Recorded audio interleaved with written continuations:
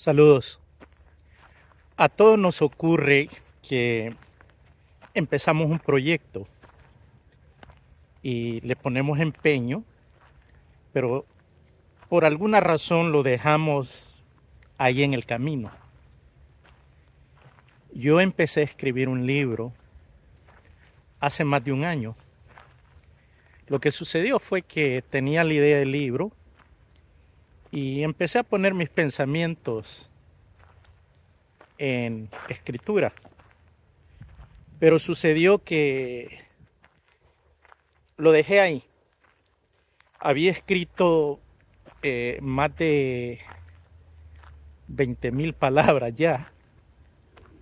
Y esa computadora la dejé ahí. Después se me ocurrió eh, terminar el libro, pero cuando lo busqué no lo encontré. Lo empecé a escribir de nuevo. Y lo que sucedió fue que también no lo terminé. Lo dejé ahí. Y en estos días decidí que iba a terminar ese libro. Y me puse a buscarlo en la computadora y lo encontré. Encontré que había escrito cerca de 13.000 palabras ya. Pero yo creía que había escrito más. Empecé a de nuevo a, a revisar lo que había escrito, a cambiar, a, a quitar, a poner cosas. Y cuando estaba como a unos creo que como a 16 mil palabras, algo así. Dije, pero yo escribí más. Me voy a la otra computadora y finalmente en archivos que tengo encontré ese libro. Ya había escrito cerca de 23 mil palabras. Retomé este libro de nuevo y ahora estoy trabajando en él. Ahora sí no lo voy a dejar este proyecto. Voy a terminarlo. Yo he escrito varios libros. Yo calculo que tengo entre 10 a 12 libros que he escrito y que no los he publicado.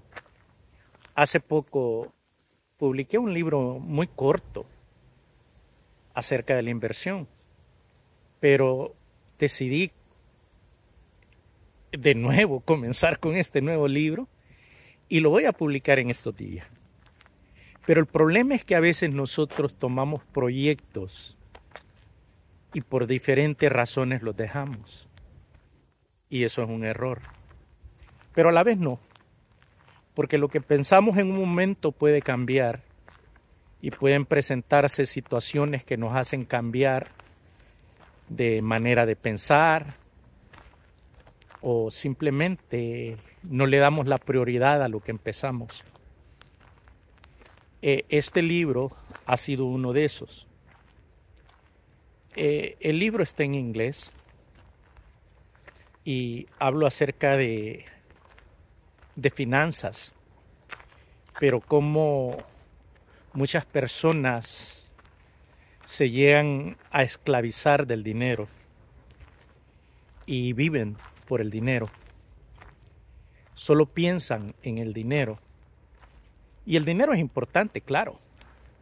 Yo eh, ahora tengo tiempo de hacer muchas cosas, como este video, escribir libros y hacer cosas que siempre quise hacer. Y todo eso cuesta dinero. El tiempo cuesta dinero. Pero a veces no valoramos el tiempo lo desperdiciamos. Yo me doy cuenta de personas que he conocido a través de mi vida que verdaderamente desperdician su tiempo. A veces las oportunidades se dan de hacer cosas y no las hacemos. Pero volviendo a lo de mi libro, lo voy a terminar y les voy a decir qué libro es cuando ya lo publique, porque Estoy seguro que esta vez sí lo voy a publicar. No quiero dejar ese proyecto en el camino. Como dije, eh, dejar proyectos a medio terminar no es muy bueno, pero a veces quizás sea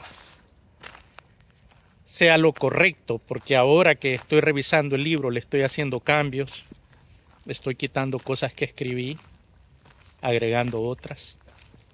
Entonces quizás haber dejado ese proyecto, ahora lo que escriba va a ser más actual y, quizás una abeja anda acá y quizás este eh, pueda expresarme mejor en mi escritura. Bueno, les aviso cuando publique este libro. Les deseo lo mejor.